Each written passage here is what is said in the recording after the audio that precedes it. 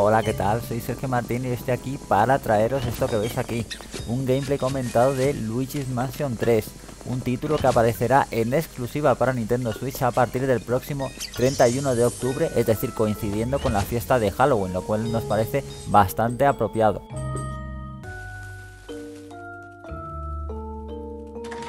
El material jugable que estáis viendo en este vídeo lo he podido grabar directamente en la sesión de unos 3 cuartos de hora aproximadamente que he podido disfrutar en el showroom de Nintendo y que la verdad es que me ha dejado unas sensaciones realmente buenas y eh, os puedo adelantar que vamos, salvo sorpresón desagradable de última hora, vamos a estar ante una aventura realmente completa y posiblemente ante la mejor de la, de la serie, y eso son palabras mayores porque a mí personalmente Luigi Mansion 2 me encantó en Nintendo 3DS.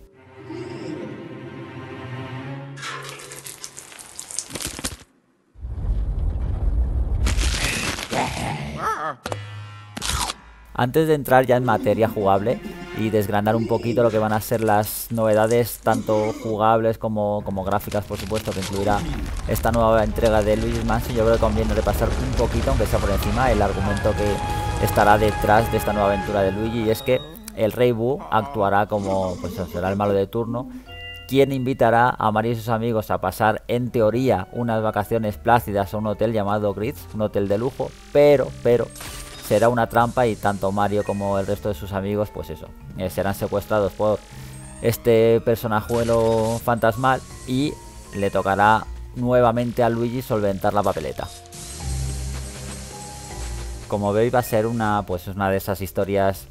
mm, simplonas que tanto le gusta incluir Nintendo en muchas de las producciones de este mismo talante, pero que puede ser el, pues digamos la excusa perfecta para dar pie a una aventura que por lo que he podido comprobar en los tres cuartos de hora que he estado con el juego, como ya os he dicho, tiene un potencial tremendo. Me ha gustado muchísimo lo que he podido disfrutar y además va a incluir una serie de novedades de bastante trascendencia que creo que pueden convertir pues esta entrega en la mejor de la saga hasta la fecha.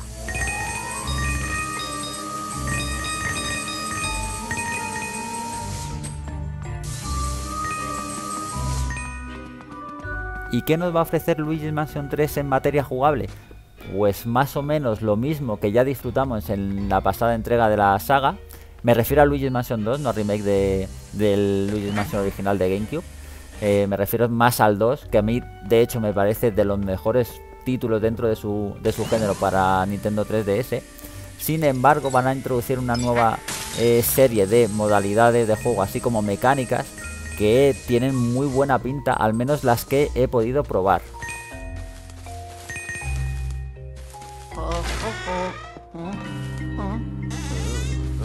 Por lo tanto vamos a estar ante una aventura muy completa en la que por ejemplo la exploración va a ser uno de sus pilares principales y vamos a poder explorar un buen número de plantas. ¿Cuántas os estaréis preguntando? Pues no tengo ni idea porque de hecho se lo pregunté a los responsables de Nintendo que estaban por ahí y no me lo supieron decir porque no lo porque desconocían el dato pero vamos yo creo que si lo hubieran conocido tampoco me lo hubieran podido comentar. Pero el caso es que vamos a poder explorar un gran número de, de zonas totalmente diferentes y que van a ser temáticas. Es decir que vamos a poder explorar desde una discoteca a un restaurante e incluso una especie de jardines botánicos un poquito lúgubres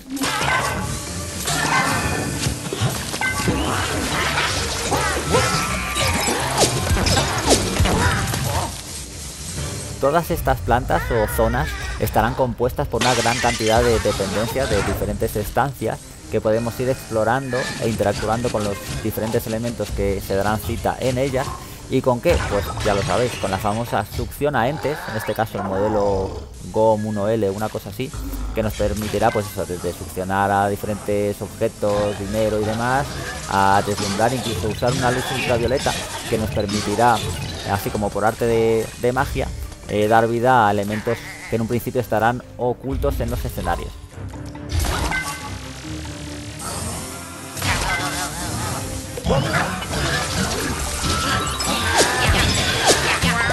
Y este mismo trasto, esta misma aspiradora succiona entes, eh, será pues eso, la herramienta clave para ¿qué? Pues para enfrentarnos a los numerosos espectros, a los numerosos fantasmas que estarán por ahí pululando que harán la vida imposible al pobre Luigi y que podremos ir succionando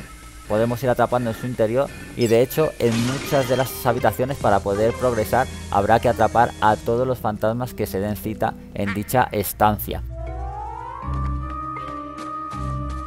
Todo esto que os acabo de explicar podemos hacerlo tanto en solitario como en compañía de un amigo gracias al modo cooperativo que incluirá el título y que nos permitirá por un lado controlar a Luigi, personaje protagonista, así como a Gomi Luigi, es decir, el personaje que apareció por vez primera en el remake de Luigi Mansion que apareció para 3DS, pero que en este caso acaparará un protagonismo bastante más importante que en la pasada producción de Nintendo 3DS. ¿Y por qué Gomi Luigi ganará más peso en Luigi Mansion 3? Pues porque en esta ocasión será un personaje que presentará sus propias características y para compensar su menor vida, barra de vida o menor resistencia, sí que será capaz, gracias a su, cuerpo vistoso, de colarse pues por determinadas rendijas de los escenarios, así como deambular por pinchos letales y demás, pues eso, y demás acciones que Luigi será incapaz de realizar.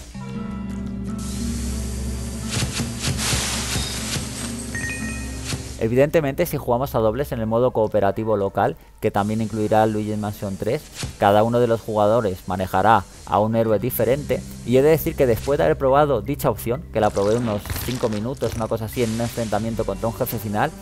me parece que es realmente divertida y puede convertirse en la mejor opción para disfrutar de esta nueva odisea de Luigi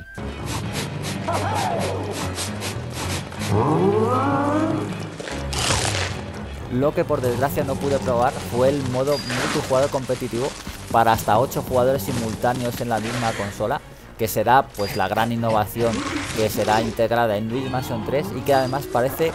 por lo que se ha visto en los vídeos parece que va a ser muy muy divertida. Además yo personalmente tengo muchas ganas de probar eh, la especie de variante del baloncesto ahí de, con fantasmas de por medio que puede ser bastante divertida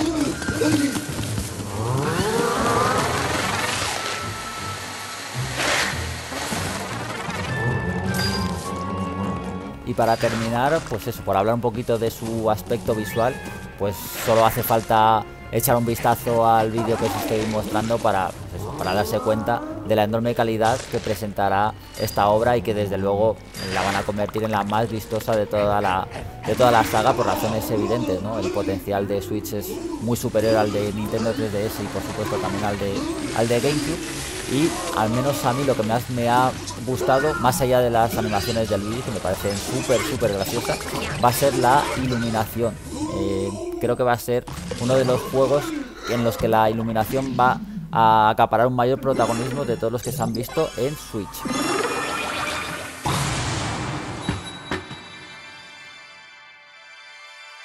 Nintendo pondrá en lista Luigi's Mansion 3 a partir del próximo 31 de octubre. Estoy deseando que llegue ese día. Y no precisamente por la festividad de, Halloween, sino pues eso, porque tengo unas ganas tremendas y más de haber, después de haber probado eh, esta demo de 3 cuartos de hora aproximadamente de Luigi's Mansion 3, porque tiene pinta de convertirse en uno de los mejores juegos dentro de su estilo para Nintendo Switch. Espero que os haya gustado el vídeo. Nos vemos en otra. Chao.